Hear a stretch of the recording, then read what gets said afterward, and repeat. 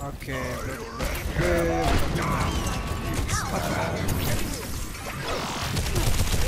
Biết way to kill kia rồi. hey! Oh.